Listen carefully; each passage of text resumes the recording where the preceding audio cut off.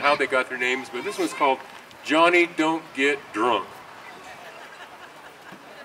Kind of like the name of it. Kind of a good one. Y'all ready? Yep.